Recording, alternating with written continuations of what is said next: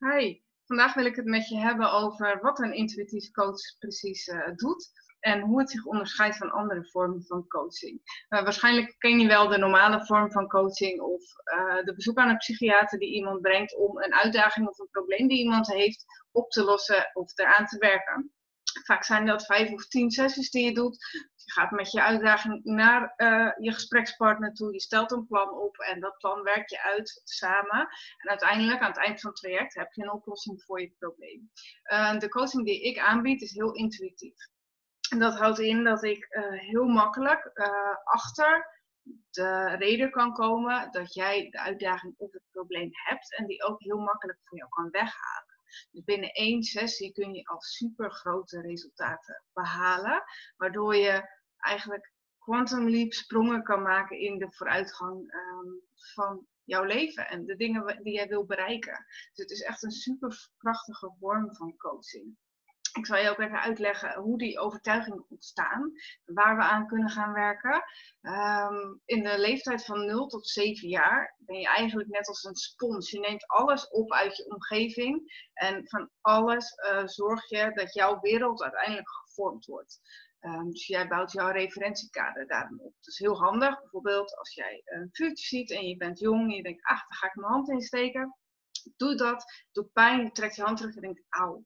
En als je dat twee of drie keer doet, dan zul je merken uh, dat jij daarna jouw hand niet meer in het vuur steekt. Dat is hartstikke handig natuurlijk, want het doet pijn. In jouw hersenen wordt een verbinding gelegd. Vuur, warm, hand erin steken. Doet auw, pijn, moet ik niet doen. Is niet zo handig.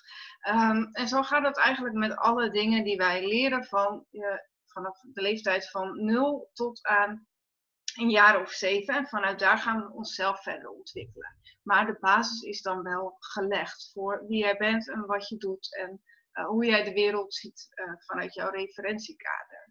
Um, wat ik net aangaf, hè, met je hand in het vuur steken, dat is natuurlijk een hele handige verbinding als die er is. Maar er zijn ook andere dingen die jou misschien niet zo goed uh, dienen. Dus denk bijvoorbeeld eraan als mensen tegen jou zeggen dat jij niet creatief bent, of dat jouw tekening niet mooi is, of dat je niet goed kan dansen. Al die voorbeelden die leggen weer verbindingen aan in jouw hersenen, die worden aan elkaar gekoppeld, waarna jij uiteindelijk het beeld vormt over jezelf dat je niet creatief bent.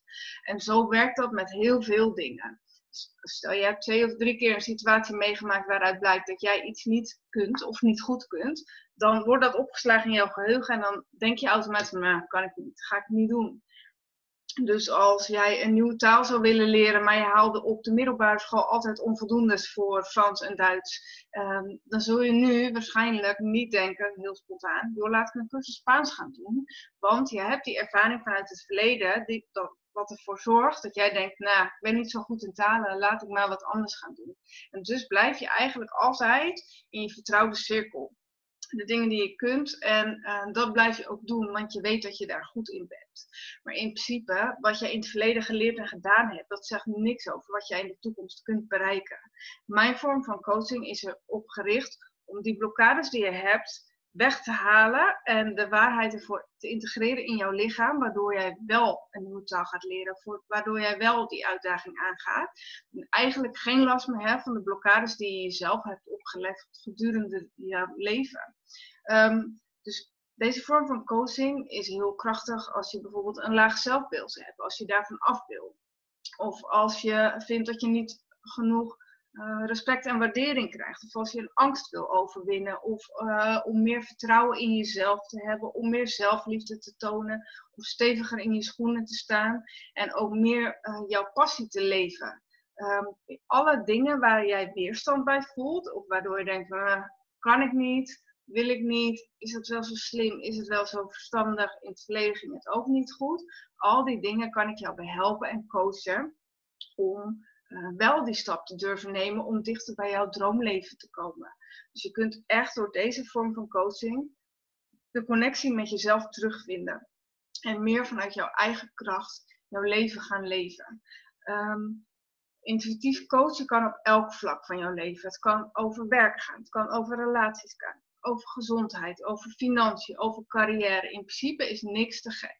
Um, ik coach jou op zo'n manier dat je zelf eigenlijk niet heel veel input hoeft te geven. Maar ik kan heel snel en heel makkelijk achter de overtuiging komen die te grondslag ligt aan de uitdaging. Ik stel ook even op de video. Die uh, te grondslag ligt aan de uitdaging die ervoor zorgt dat jij de drempel niet overgaat.